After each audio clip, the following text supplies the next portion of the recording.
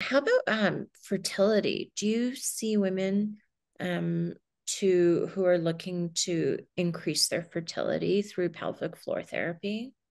That does happen a lot.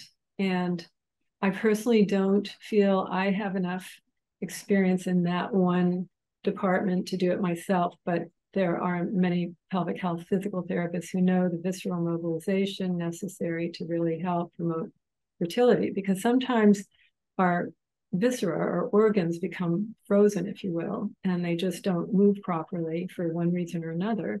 Sure. There could have even been past trauma that have, has sort of frozen the whole area.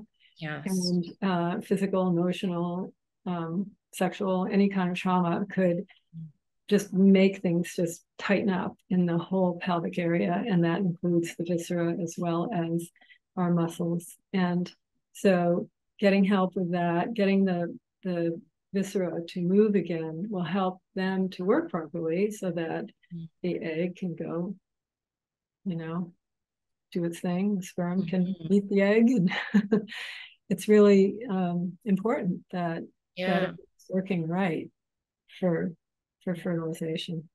Yeah, that's so interesting. And that totally makes sense to me. I've had um a lot of uh, myofascial massage from my um, physical therapist, who's also mm.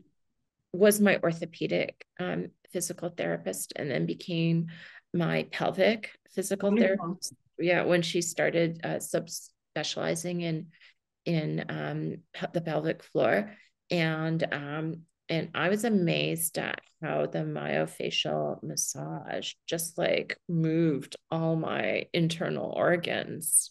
Mm-hmm.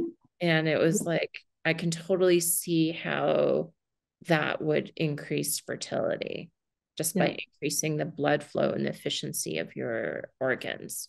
Exactly. Well, I think, you know, for the same reason that acupuncture often helps, that inc- improves blood flow to organs. So, you know, all the more so with visceral release, I would say.